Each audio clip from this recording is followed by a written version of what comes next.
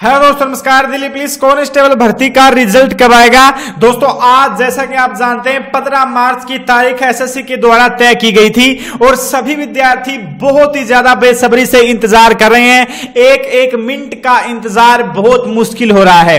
तो दोस्तों, Delhi police constable भर्ती का रिज़ल्ट आज आएगा या नहीं, काफ़ी ज़्यादा कमेंट्स आ रहे हैं। देखिए दोस्तों, फुल चांस है कि आपका जो रिज़ल्ट है, वो आज पंद्रह मार्च रात तक जारी किया जाए। दोस्तों, कभी भी एसएससी दिन में रिज़ल्ट जारी नहीं करता है। एसएससी के जितने भी रिज़ल्ट आज तक आए हैं, वो ज़्यादातर शाम के टाइम पर ही आते हैं। ठीक है तो रात के टाइम पर अब आज आपका रिज़ल्ट आने के फुल चांसेस हैं। और अगर आज रिज़ल्ट नहीं आ पाया तो फिर आपका रिज़ल्ट दोस्तों कल भी आ सकता है।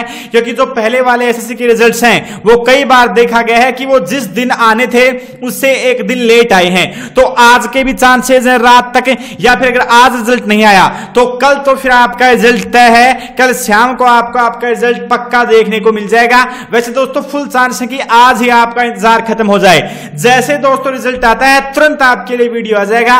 काफ़ी ज़्यादा कमेंट्स आ रहे थे, इसीलिए वीडियो बनाया गया है, ताकि आप ज़्यादा परेशान ना हो। दोस्तों रिज़ल्ट का इंतज़ार मुझे भी बेसब्री से है, और वीडियो तुरंत आ जाएगा, जैसे ही एस की वेबसाइट के ऊपर रिज़ल्ट आएगा।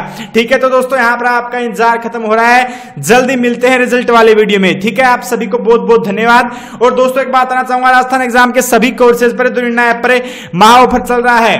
आज रात 12 बजे तक 15 मार्च रात 12 बजे तक का ऑफ़र है। जल्दी जाकर आप इस डिस्काउंट का फ़ायदा उठाएँ। ऐप डाउनलोड करने का लिंक आपको डिस्क्रिप्शन में मिल जाएगा।